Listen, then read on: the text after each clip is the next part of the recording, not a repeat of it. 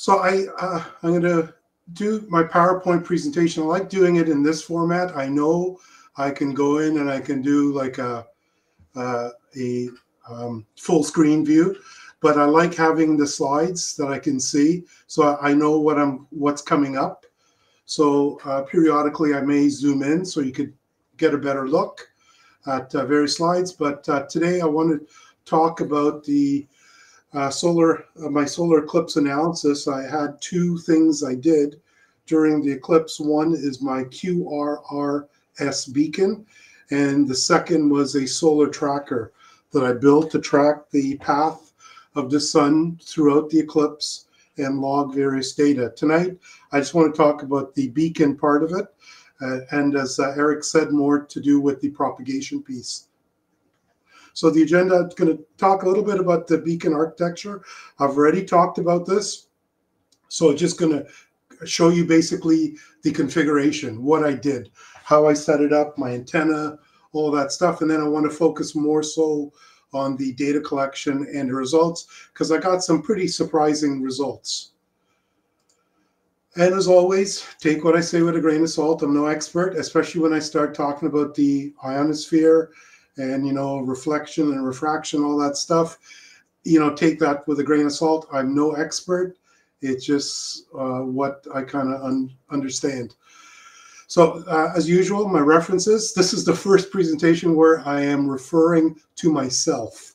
So all these presentations are presentations I did myself. There's one I did where I talk about the software I used as part of the beacon. I used uh, something called a lock-in amplifier to detect the beacon. And uh, I talked about the beacon design during my uh, Miller effect uh, third presentation where I talk about neg negative feedback. I talk about uh, uh, the beacon that I built and uh, talk about MOSFETs because I do use MOSFETs. I talk about how MOSFETs work. And also too, I talk about 4NEC in my long wire analysis. And I'll, I'll talk, I'm not going to show any um, uh, 4NEC analysis, but you could see this is a real good lead into a 4NEC analysis. Now, this came about from HamSci. For those of you who don't know what HamSci is, it's a collaboration of amateur radio uh, uh, folks as well as uh, university professors. And they are doing research, ionospheric research, using amateur radio propagation, you know, um, uh, measurements. And uh, last year, I think was the first ever paper that was published, an official paper published by the professors by the University of Scranton.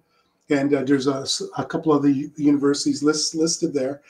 The very first paper that got published where it analyzes the ionosphere using ham radio propagation. So that was really exciting for, uh, for them. So they are are really big into amateur radio propagation. And so what they did as part of the eclipse was they set up a whole bunch of experiments where they would measure propagation during the, the eclipse. So I looked at this and I thought, hey, this is a real good opportunity for me to do some experimentation. And before I, I kind of get into this, I just kind of wanted to give you a timeline here. And this will explain a lot of why things happened or why things didn't happen. So I started work in the Beacon back um, in December 2023, which is approximately four months before the eclipse. Not really four months. I actually worked on it three months because I started to work on the solar tracker a month before the eclipse. And so for three months, I had to do all my LT SPICE simulations, do PCB prototyping milling, send away to get my JLC PCB boards done. I had to write all the software. Uh, I used a real-time clock, a SI5351. I had to write the code to generate Morse, uh, CW, uh, generate WSPR, generate this mode called QRRS. Then I had to write my uh, a program in Python to configure the beacon, beacon, and then the decoder to decode this QRRS. Shouldn't be shouldn't be QRSS. Okay, and So with that in mind, that leads to the next slide here is, what do you think will happen when you try and do too much in too little time? Well, Murphy comes into play. Murphy rears his uh, ugly head and you end up putting uh, the wagon in front of the horse and uh, things go wrong. So during this talk, I'll be, I've got my Murphy log and I'll talk about the good, the bad, and the ugly. And uh, I put it, I soften, I say improvements, but that's basically my Murphy log. What what didn't work, what messed up, and then what did work. So let's get into the beacon now. So this slide was from my prior presentation that I talked about uh, the eclipse, and I updated it. Uh, the last uh, time I talked, I wasn't sure how long we were going to be in uh, uh, uh, the total eclipse. It turned out we had two minutes and 30 seconds, two minutes, 34 seconds, I believe. But we had two and a half minutes um, of darkness, which was really cool. And so I talked about reverse beacon, how I wasn't going to use reverse beacon. I, I ended up using reverse beacon, and reverse beacon gave me some really, really good information. And one of my concerns was with re reverse beacon is the time it takes the beacon to register you. So if you send a, uh, a CQ, or you, in this case, I send a test message, test DEVA3 TJR, you know, blah, blah, blah. It could take several minutes before it registers you. And in over that several minutes, you, the eclipse has passed. You missed it. So what I ended up doing was using two call signs and transmitting on alternating frequencies. And I was able to shorten that down to like, you know, like uh, 20, 30 second intervals, which was good. And I got some really good data. So on top of that, I decided to build my own propagation, my own uh, propagation mode, which I call QRRS. There's no such thing. And so what I did was I would send my QRRS message, and then I'd send a R, uh, RBN uh, CW message three times. Then I would rinse, rinse and repeat. And I used a web SDR, actually Kiwi S, SDR, to receive the sig signals and then process it. And as I said, there is no such thing called QRRS. I made it up. And basically what it is, it's a um, it's a I, I would send a CW call sign because I need need to be legal.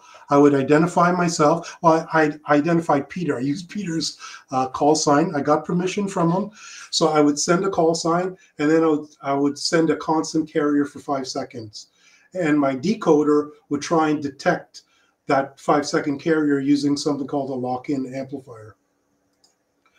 And so using that staggered call with with the RBN. Here's actually on the day, uh, on, on Eclipse Day, you could see the two call signs I use. One is VA3 TJR, which is my son's call sign, and my call sign v, VE3OOI. And so what I would do is I would first send out three calls, test DEV3OI, blah, blah, blah, send that out three times. Then the next time I would send, uh, use the second call sign and it would shift the frequency by about a thousand hertz. And then I'd send three calls. Then I would rinse and repeat this. I kept doing it for five diff different frequencies. And I did that for two and a half hours throughout the entire uh, eclipse. And so here's the architecture uh, that I use. Here's my beacon. Uh, uh it's got a nano SI5351, real-time clock, low-pass filter, and uh, this is connected to a, a 20 meter end-fed antenna I had here mounted to a rail and coax running inside the house. And you can see, I think, let me zoom in. I think you could see the antenna wire here going up to the tree. You could see the antenna, the gray antenna wire there going up to the tree. So that would transmit. And then I went to a web SDR and I would uh, um, get the sound, feed it into my signal detector program, and decode uh, the peaks. And you can see the peaks here where it uh, saw the beacon. And so my setup, I, I, I, just showed you the antenna, but here you can see here the um, MFJ analyzer, and I, I think you could see that. It's got a one-to-one, the SWR, using the antenna in this configuration. I was getting a one-to-one match, which is perfect. Uh, no tuner necessary, uh, but I did have a very short counterpoise attached. The red terminal is the antenna, and the black terminal is the counterpoise. And so I had a very short uh, uh, counterpoise. And the beacon was inside this plastic tin inside the house. And I had my power supply plugged into the wall, feeding it, and then the antenna connected uh, to it.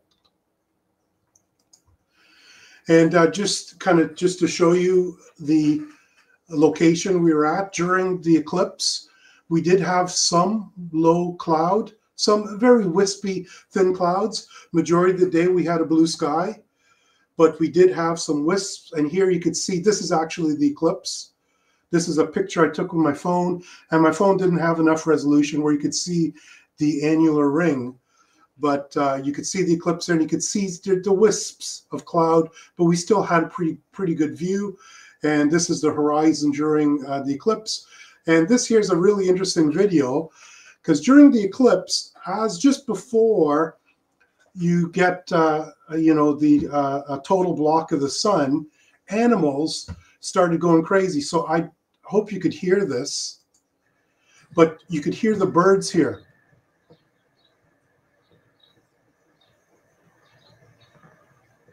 And you could see the birds they were just flying around they were just going crazy. It was as if it's nighttime and they thought it was night time to go to a tree their favorite tree to roost and that was kind of interesting seeing that. So, and then, um, so everything looked great, you know, and I'm going to play this video as, uh, as I'm talking here.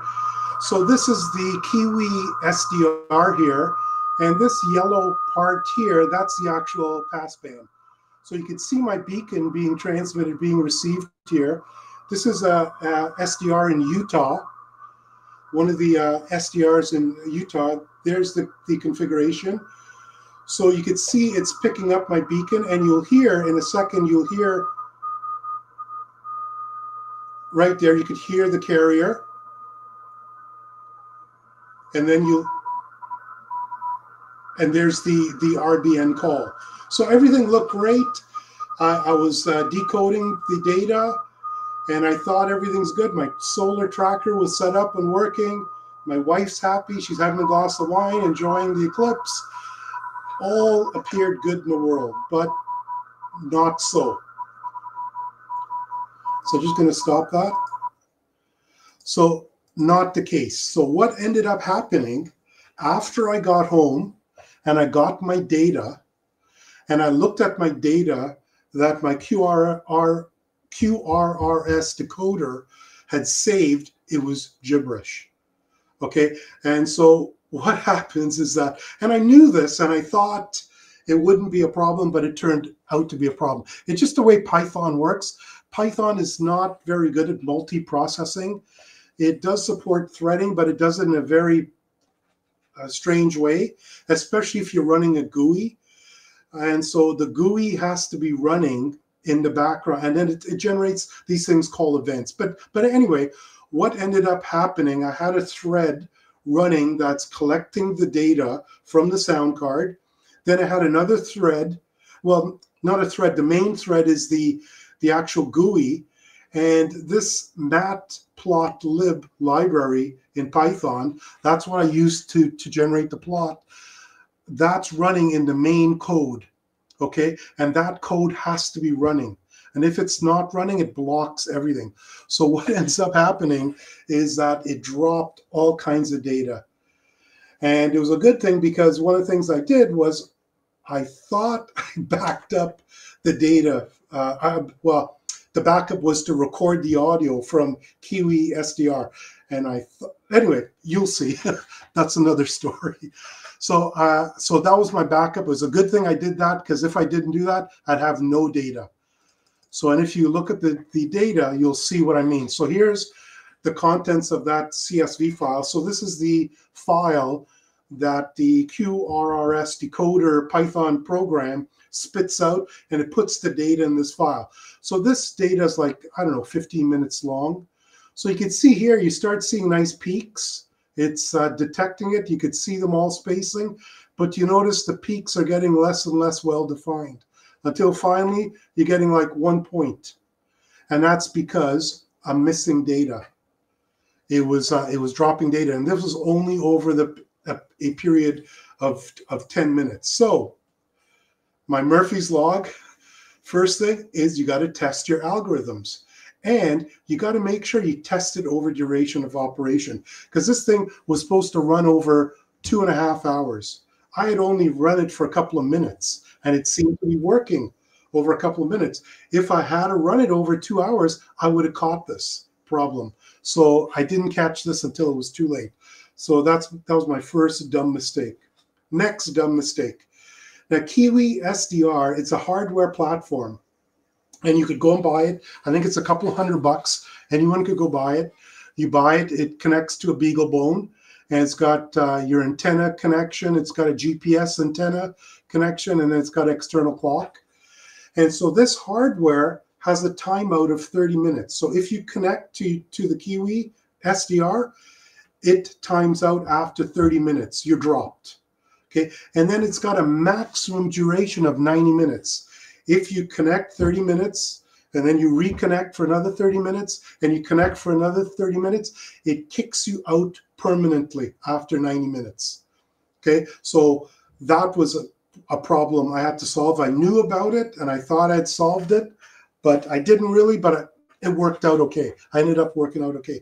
The next thing is it's got this record button here, this little uh, circle here. So you click that button and it records the sound. And I assume that you know once you close the browser, it saves the sound. No, it doesn't. You have to go back and manually click the button. So you click it once to start and you click it a second time to stop and save your, your recording. So what ended up happening, the first uh, half hour or so, I did not get any data. So, you know, the second uh, log here is you got to look at that web SDR timeout issue. And so one of the things I, I, I, and I knew about this going into it. Sunday, I reached out to the provider at Utah, and I sent them an email saying, "Hey, listen, can you guys uh, do an exception here so that I could uh, do this over two and a half hours?" Well, they didn't get back to me until Monday night after the eclipse, so I wasn't able to do it. So I had to record for like 20 minutes, stop, then start another record for, for 20 minutes, and kept doing that, right? But I ended up getting the data. So let's look at the let's start looking at the data now so let me look at first the rbn data because i think this is the most interesting part because this explains a lot as well by looking at this so first of all let's talk about let's get the vernacular right. So we're all talking but uh, you all understand things are going to be saying because they're going to be so talking about c1 c2 c3 c4 so c1 is the first contact during the eclipse okay? C1 contact one first contact, which in Leamington, that happened at 158 and 47 seconds. So 1:58 p.m. was uh, C1, and that's when the moon just touches the sun. It just kisses the sun. That's the first contact. Then you go through a partial eclipse. Okay. Then it's C2 is when the moon kisses the opposite side of the sun and at that point, you've got a total eclipse. You've got the full eclipse. And that started in Leamington about 3.13 p.m. And the time when the, the moon moves off the sun, it just moves off of the, the, the sun. That's contact 3, C3, which is 316. So I had two minutes and 34 seconds of total eclipse, right? And then it continues to move. You, you, you get the partial eclipse and it moves and right till the end where it just steps off of the sun. That's called C4, the fourth contact, and that happened at 4:28 p.m. Okay, so here's the RBN data. I can end my talk now. There you go. there you go. Here's the data. So what I did was I just plotted, this is the big picture. I'm gonna zoom in and talk about things. So here's all the RBN data. So this is, this number here at the top is the uh, dB um, uh, that it's got. So I, I think it's a dB above the noise floor, how strong your signal is. So each line here represents a uh, RBN uh, spotter. So here it is for Kansas City, for South Carolina. The purple is South Carolina. The orange red is uh, Calgary. The green is for uh, New Hampshire. The what's that? Uh, like a blue. That's for Massachusetts. The green is for Utah. I had two sites in Utah. The black is uh, Utah as well. So you can kind of see it's it's um, there's there's no no obvious trends here. There's a lot of dips. a couple of observation. You know, during the so C1 here's the time at which C1 happens. Right there, about 158, I think it was. That was C1. Then C2 is like 316 or 314, something like that. Then 318 is uh, C3. So here's uh, here's the period of the total eclipse. And then C4, I didn't record the data for C4 at about at, at about this time here. At about this this time here, uh, the wife was uh, getting anxious, and I had to pack up and leave. So no obvious trends here during the total eclipse. There is some dips you're seeing here. There's a dip in the purple. There's a dip in the green, but that doesn't mean anything. There are lots of dips in the green. Uh, one kind of observation here is that you see a lot of, you know, peaks and valleys during uh, C1 to C2 during the partial eclipse. And then it looks as if, you know, it kind of smooths out here towards the latter part of the after uh, uh, the uh, total eclipse. So I don't know if that's that's relevant.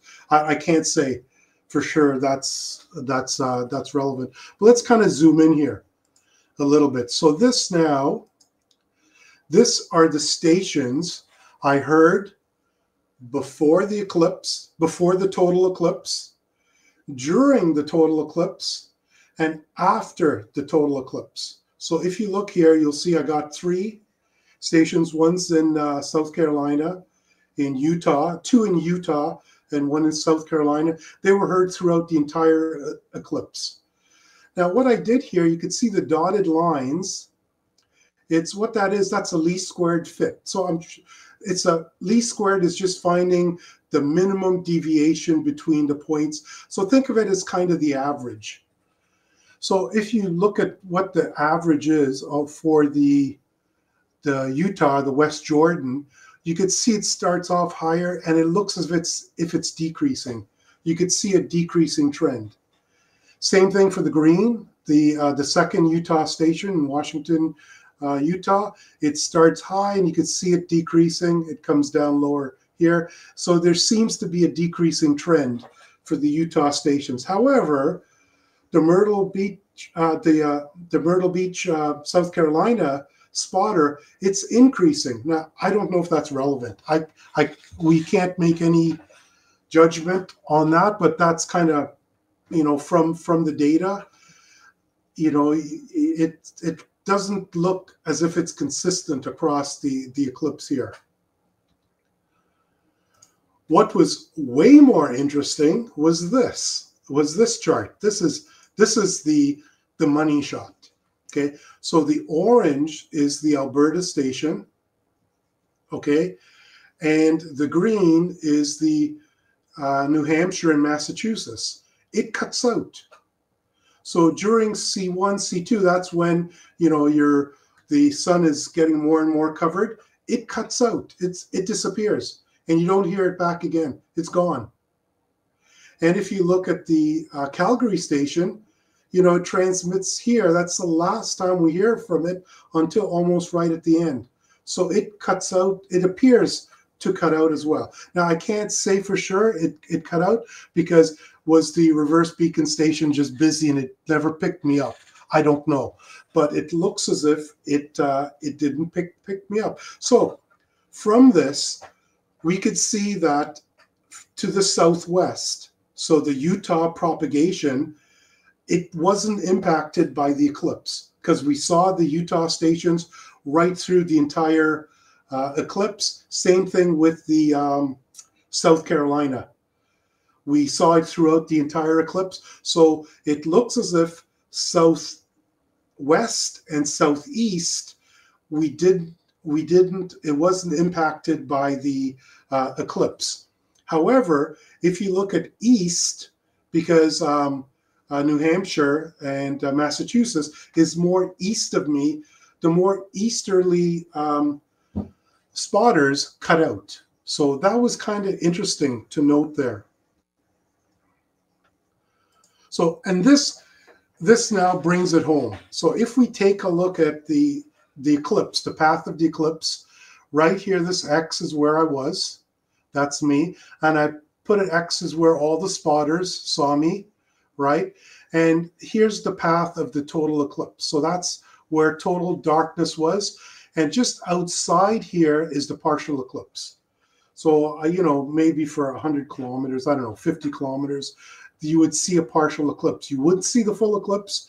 Uh, the uh, you'd see the sun partially covered. So the ionosphere could be affected by just a small amount. You look at the path of the total eclipse, and this yellow line's kind of halfway.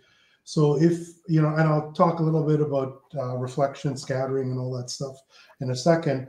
But you can see it's feasible that I'm bouncing off of the ionosphere that's inside the area of uh, total eclipse. So that's that may explain why these two sites cut off during the eclipse because the the ionosphere cooled off and uh, I was no longer getting. Now keep in mind this is all in 20 meters. Okay, I should have said that right up front. This is all 20 meters, 14.1 megahertz.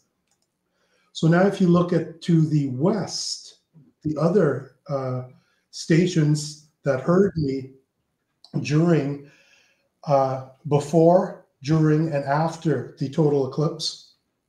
Here, uh, Alberta, Utah, and South Carolina. Well, you could see that, you know, when I'm bouncing off of the ionosphere, I am well outside of the uh, total eclipse. So the ionosphere is nice and hot, it's working. And so that's why these stations never cut out during the eclipse. And you'll see that shortly when I show my QRRS uh, data.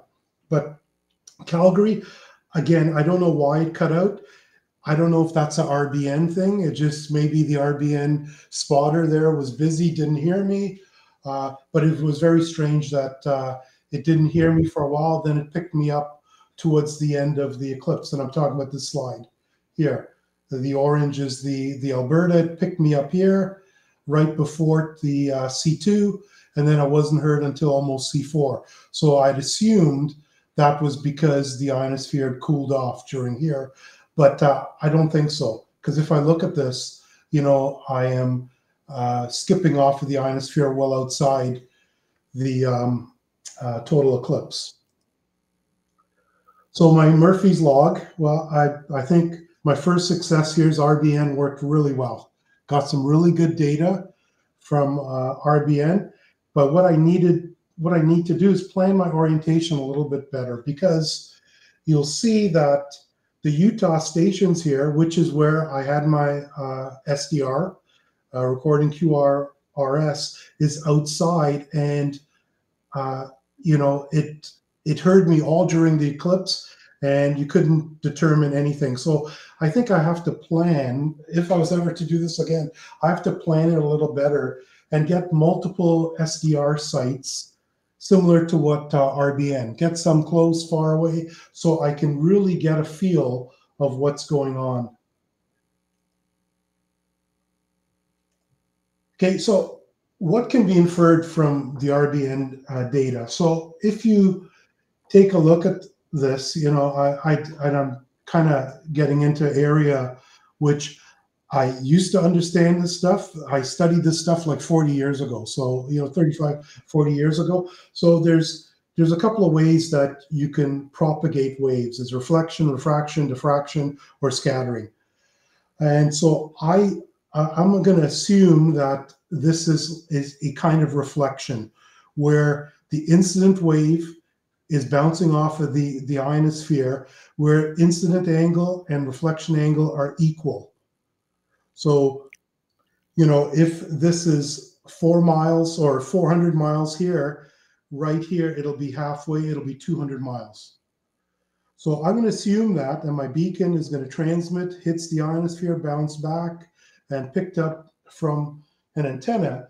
Furthermore, you know, according to this, I don't know what it was, what the height of the, the F layer was for that day, but it says here it's anywhere between 150, 500 kilometers. So if I assume the height of the ionosphere at this point above the Earth's surface is 400 kilometers, just as an assumption, so two, two assumptions. One, incident angle and reflection angle are the same. Second assumption, it's we've got 400 uh, kilometers, the height of the ionosphere, whatever the F2 layer or whatever's involved, but uh, um, uh, 400 kilometers. What can we infer from this RBN data? Well, if you look at where I was, and I've got Alberta, which was 2704 kilometers, 2,700 kilometers. Utah, 26, 28, about roughly about 2,700 kilometers, you know, and uh, Massachusetts, seven, 600, you know, roughly about six or 700 kilometers. South Carolina, 1,100 kilometers. So if I do a little bit of trig, assume the height here is 400, and this distance here is half of the total distance here, can I determine what my takeoff angle is for my end-fed antenna? So for 2704 for uh, Alberta, that works out to be 16 degrees. For Utah, turns out to be about 35 degrees. And for uh, um, Massachusetts, uh, North Carolina, turns out to be 48 degrees sorry, 1130 is the uh, South Carolina. So 16 degrees is Alberta, 35 degrees is Utah, and uh, 48, oh no, uh, 35 degrees is South Carolina, and uh, 48 degrees is Massachusetts. I didn't do Utah here. So does this mean that my lobes coming off of my end-fed antenna were at 16, 35, and 48 degrees. So it'd be interesting to go back, model my antenna in 4NEC and see what the takeoff angles are and see if this holds water. I'm not I'm not prepared to do that, but it's just interesting that how what you could glean from data like like that. So let me just turn over to my QR.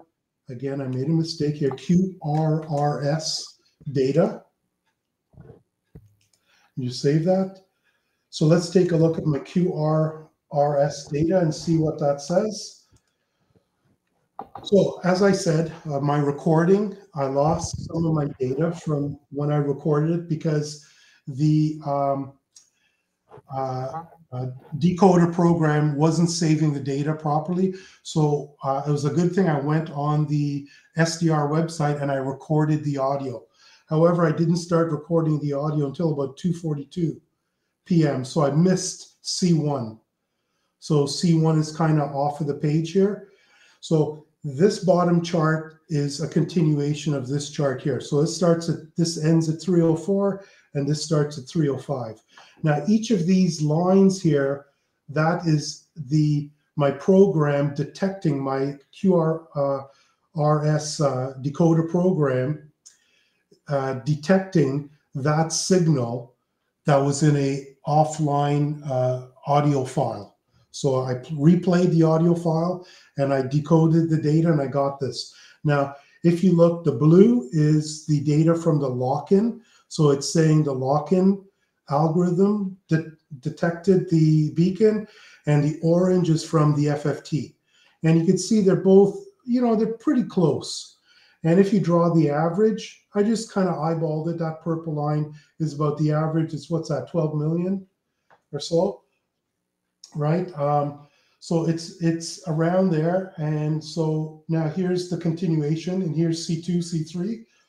So this here's the total eclipse. You can see it's still about the same. It hasn't changed.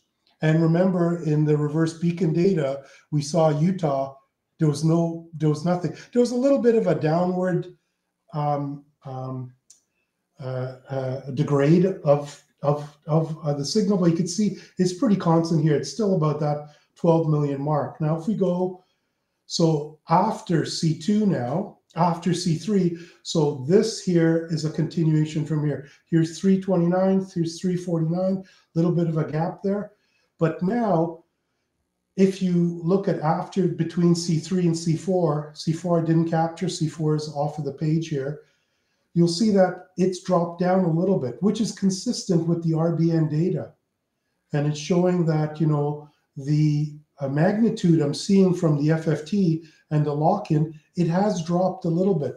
So RBN did show that it was decreasing a little bit, and so did my uh, QRSS uh, data. Now, why that's happening, I don't know. I don't think it's part of the uh, the eclipse. Frankly, I don't think it's part of the eclipse. I think it's maybe just uh, you know uh, daytime cooling. I, I don't know. It just it's just slowly uh, degrading as time goes along. I, I don't know.